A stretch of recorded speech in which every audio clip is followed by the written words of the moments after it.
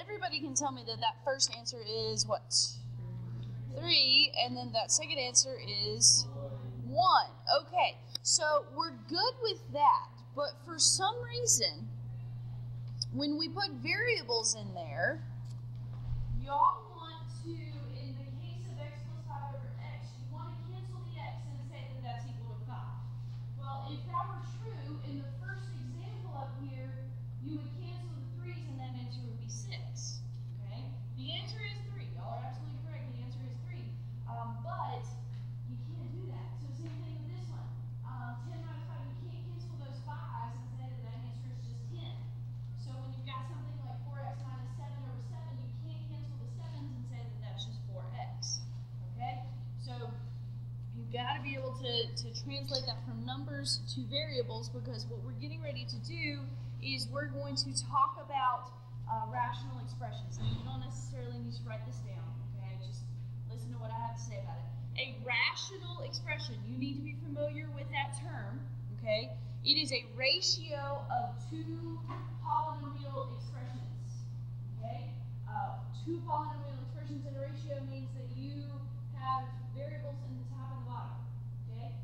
Um, it may not necessarily be top and bottom. You can just have it where there's a variable in the bottom um, and a number in the top, but those three uh, expressions there are examples of rational expressions, okay? Um, we're going to start with simplifying these rational expressions, and a lot of times they can be simplified by factoring, if possible, top and bottom, and then you can cancel stuff that's in the top bottom if it's a factor, okay? If it's a factor. You cannot um, cancel what we canceled in, in, the, in the beginning. Um, so, for example, 6 over 2.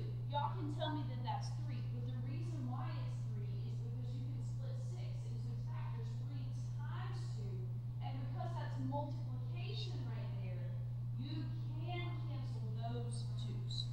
If that were a plus sign in the top, you could not cancel those.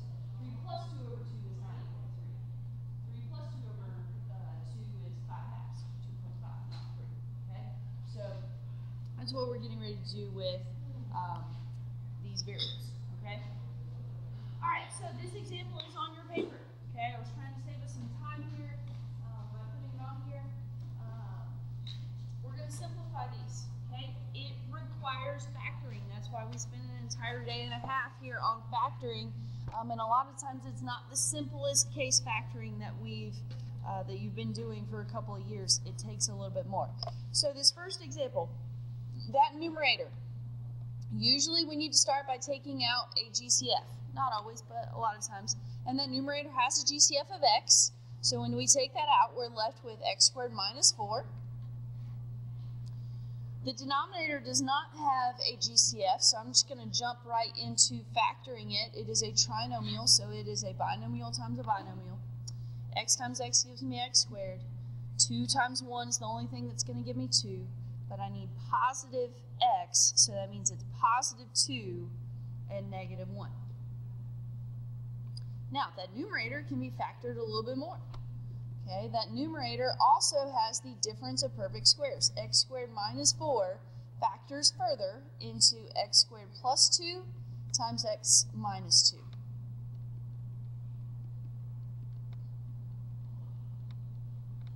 Now, because in the numerator we have three factors multiplied by each other, x times x plus 2 is a factor times x minus 2 is a factor, we can cancel the x plus 2's in the one in the numerator and the one in the denominator. We can cancel those, and our final answer is x times x minus 2 over x minus 1.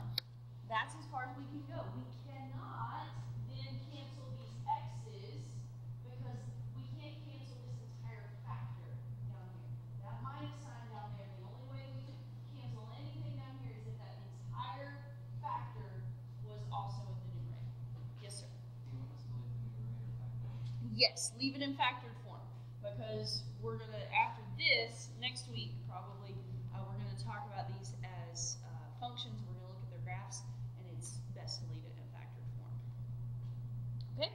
Let's look at example B. Okay, example B. Uh, first thing that I'm going to do with B is I'm going to rewrite that numerator because I don't like the fact that x squared comes last and that it is negative. So I'm going to reorder that so it's how I'm used to seeing it. But the negative is with the x squared, so it's got to move with the x squared. The x is positive, the 12 is positive. So when I factor this, I'm going to start with that numerator. I'm going to start by taking out a negative 1. So that becomes negative 1 times x squared minus x minus 12 over the denominator. It would be great if that had a GCF of 2, but it does not. The 9 messes that up. So just means that I'm going to be have, have to be a little bit more careful with my factoring here. Um, but it looks like I need to use 4 and 1 because I got to get 9 out of this somehow. Well, the 9 is going to come from 4 being multiplied by 2 and then just the 1x. Um, the 4 is positive, so that means that we have the same signs. The 9 is negative, so that means they are both negatives. All right, so my numerator, it still needs more factoring. I just took out a negative there um, to help me out. It is x minus 4 times x plus 3. Okay. Uh, do not, guys, get discouraged if you do not do the factoring as quickly as I do. I've literally been factoring for mm, close to half of my life. Um, at least 15 years I've been factoring. I've gotten pretty good at it, okay? So don't get discouraged if it takes you a little bit longer to see the numbers, all right? And you can always multiply it out to make sure that you did factor it correctly.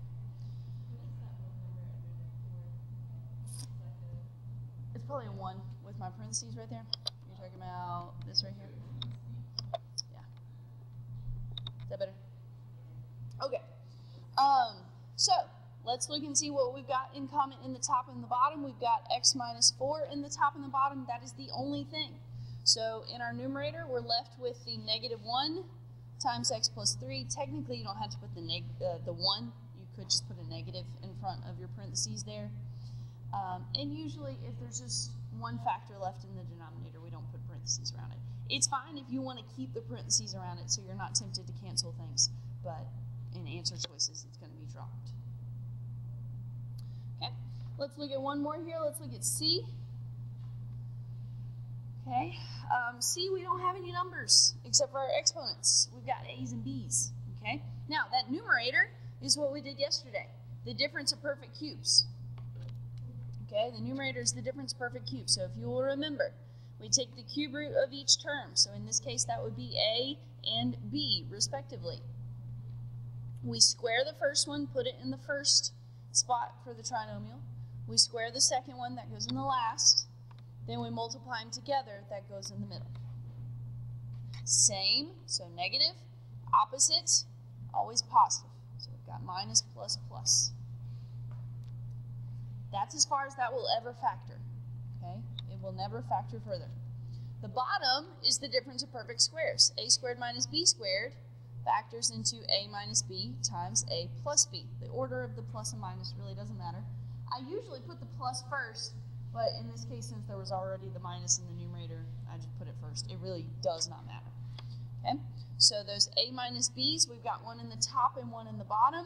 So our final answer is a squared plus ab plus b squared over a plus b.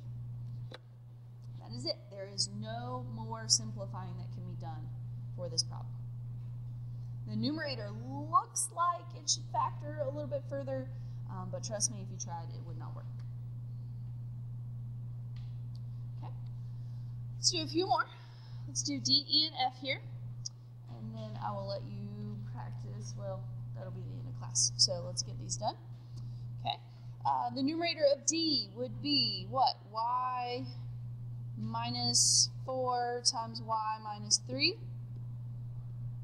The denominator would be y plus 6 times y minus 3.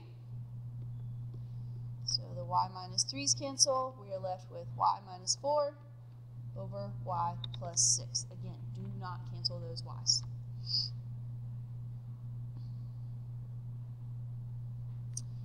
E. Okay.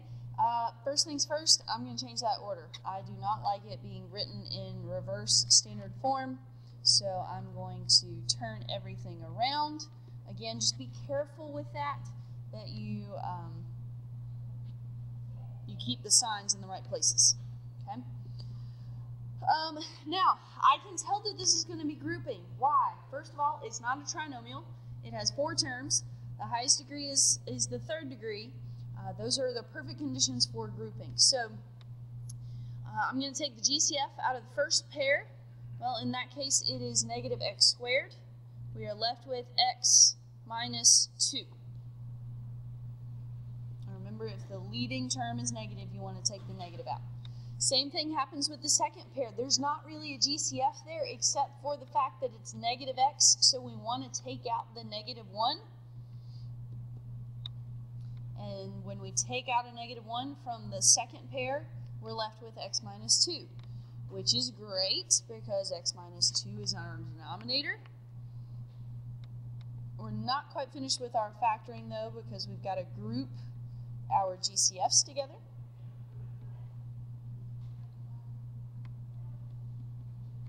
And just put our common term there on the end. If it helps you to put parentheses around that denominator, that's fine to see that you can cancel the x minus 2 in this case. And we are left with negative x squared minus 1. It's not the difference of perfect squares because it's negative x squared. If you took that negative out, then you would get uh, x squared plus 1, which it really doesn't do us any good to factor that any further um, because there's no denominator left uh, to cancel that with. Okay? So x squared, negative x squared minus 1. Sometimes the denominator does completely disappear. Okay? Most of the time it's still there, but sometimes it does completely go away. Okay, let's do one more example here with uh, grouping f. The numerator, there's no factoring to be done. Sometimes that happens as well. Uh, sometimes you, it's just kind of along for the ride uh, and you're, you're focused on the other part. Uh, the denominator, the GCF of the first two terms is x squared. When we take that out, we're left with x plus 1. The GCF of the second pair is negative 9. When we take out a negative 9, we're left with x uh, plus 1.